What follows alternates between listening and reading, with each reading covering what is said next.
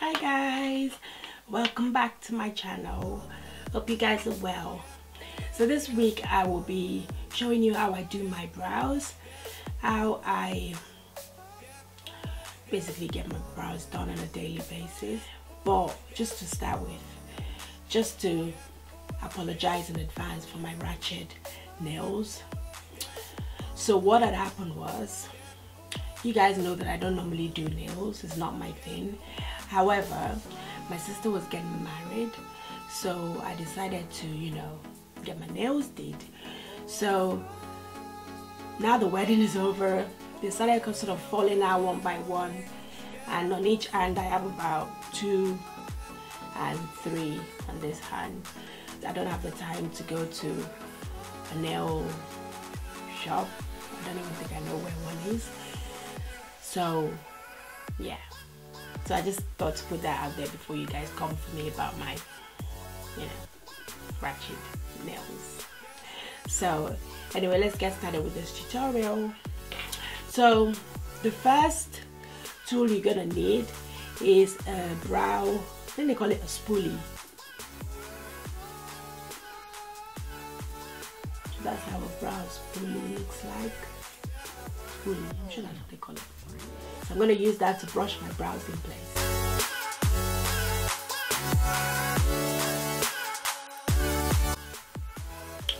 So that's that done.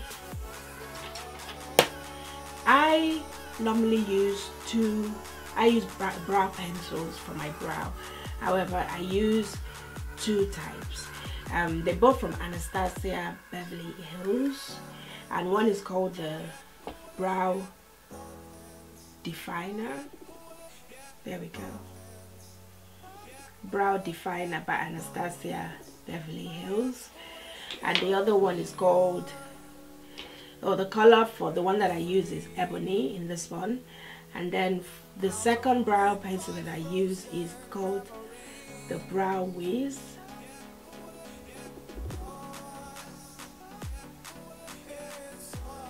And it's also by Anastasia so the brow definer is a little bit thicker. I'll show you. This is a little bit thicker in width than, than the brow wiz so I'm going to show you how I use both of them. I start by outlining from the bottom.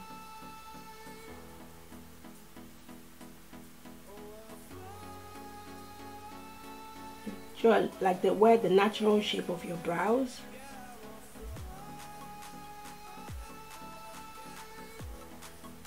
And then I do the same for the top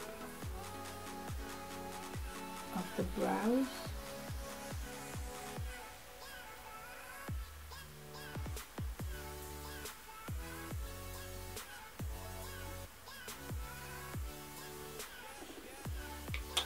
then I take the I take the um the brow wiz so the first one I used was the brow definer. And like I said the, the color I use in that one is ebony. And then I take the brow wiz which is slimmer the lead pencil bit is slimmer than the brow definer. And the color I use in that one is dark brown. And then I fill in the brows with this one. So I've used the brow definer to outline I mean you can use the same pencil to be honest to do both but I'm just extra so I just use two. So I use this to fill in the brows. You fill it in.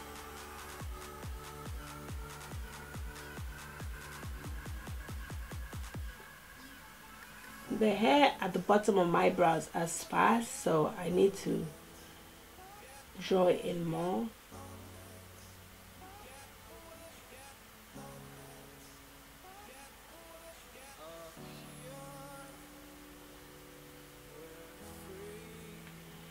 so once I'm happy with that try not to put too much product at the front because it gives you that blocked eyebrow look like a box which is not a look that I'm a fan of. So if you're not trying to go for that look I'll suggest you avoid putting too much product right there. You sort of start from there rather than the top of the brows. So what I'm gonna do now is I'm gonna brush the product blend it well with the spoolie. I think they call it spoolie. Yeah I think that's what they call it. If not I apologize. I think it's a spoolie. Or I'll call it an eyebrow brush. How about that? And mine is just some random brush yeah but anything that looks like this that you can use to brush your eyebrows use that. So I brush it in place. And then when you get to the top you want to fade it in. So I tend to just do that. So you don't have that uh, you don't see a harsh line. So make it look as natural as possible. Yeah. So that's the brow not quite finished but almost there. And that's the one that I haven't done yet. So we're gonna go on to the next one. Do exactly the same. I'll show you again. Yeah. brush the brow into place. Then you want to get the brow definer or like I said you can use the same you can use this for both drawing the shape and filling it in. You don't need to get two pencils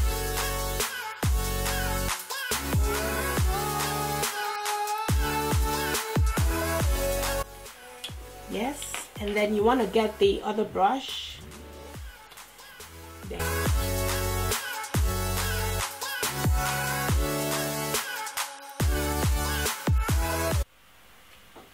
until you're happy with the how dark you want it. depends on you. If you want it lighter if you want it really dark. But what I would say is never ever ever use black pencil to draw your eyebrows. That's like a no-no. Always go for colors like dark brown ebony. This dark brown basically. Never use black Never strive to get your eyebrows to look exactly the same. They can never be. In my case, I think one is even thicker than the other. I don't really bother myself with trying to get it looking exactly the same because they'll never be.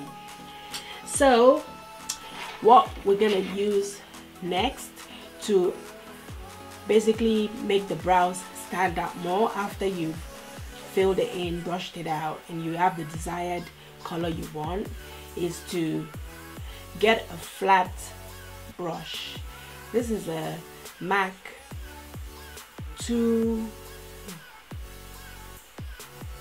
I think it's a MAC 242 it's sort of fading but I would um, look it up and if, if I'm wrong I'll put it in the description box. But I believe the brush is a MAC 242 which looks something like this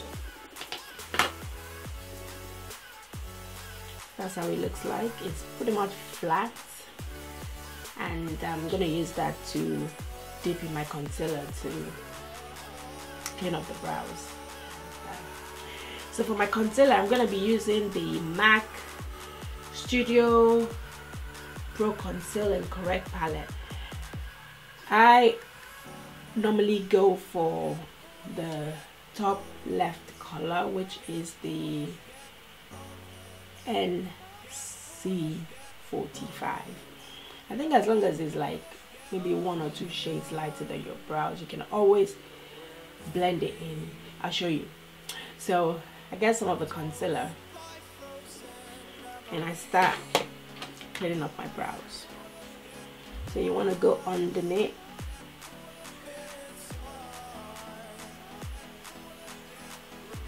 Making sure you don't swirl all the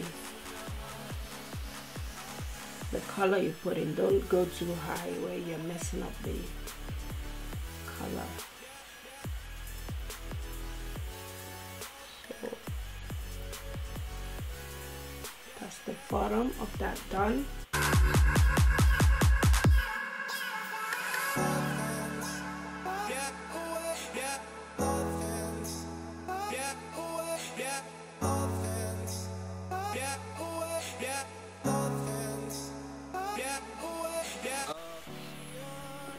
so this is when you're gonna need to blend blend. You're gonna need to blend. That's why I tend to do my eyebrows before. I've actually changed the way I do my fun I don't wear foundation most of the time. I wear powder foundation but either way I now do my brows first my eyeshadow if I'm wearing any and then I do my powder. Because I used to do my powder first and then do my eyebrows. And I noticed that I'll have to do all this cleaning and it's better to do it before you do your foundation. Does that make sense? So so now you want to blend and blend all that concealer right into the skin.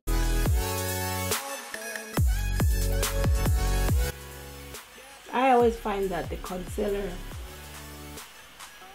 um, right here acts as a base if you put it on your if you put on eyeshadow. So that always helps. I just bring the concealer down to the to cover the lid I blend it into the lid so that acts as a base for my eyeshadow.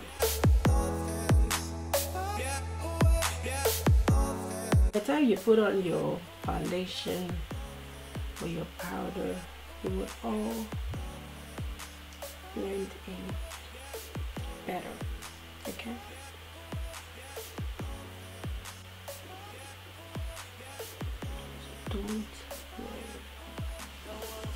so what you now want to do is have a look at it get your spoolie again and brush it all in place. And if you feel that there's any gaps in the brows like if you look at mine now you can see a gap right here. You see? So what I do is I just fill in any gaps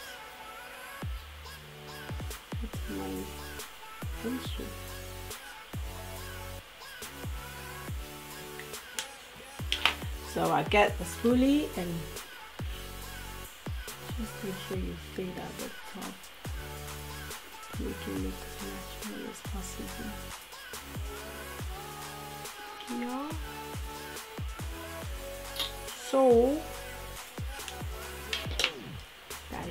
brows done. I always tend to do as well um, if I wear eyeshadow. Um, I've already put some just blending it into my eye. I take any powder any powder and I just use that to set the just under the brows where I flat the concealer just set it in place with the powder and then I put my eyeshadow on top. Yeah. But all of this all of this white is gonna it's gonna blend. By the time you put your foundation on or you applied your powder. Yeah so not to worry. So that's the finished look guys